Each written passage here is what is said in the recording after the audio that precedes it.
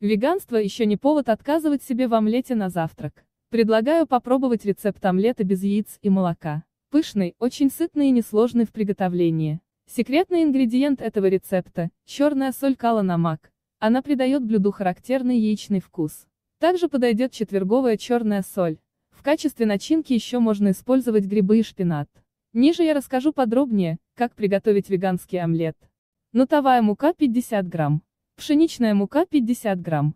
Разрыхлитель 0,5 чайных ложки.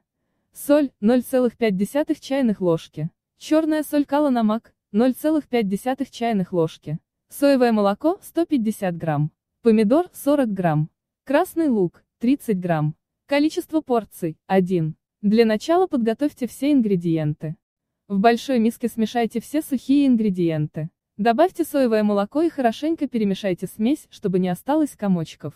Можно использовать миксер. По консистенции смесь должна напоминать жидкую сметану. Нарежьте лук и томат на маленькие кусочки. Добавьте их в смесь и еще раз перемешайте. Хорошо разогрейте сковороду на среднем огне. Вылейте омлет в сковороду, постарайтесь распределить его равномерно. Жарьте первую сторону без крышки примерно 3-4 минуты. Готовность можно определить по золотистым краям омлета. Аккуратно переверните омлет и обжарьте вторую сторону еще 3 минуты.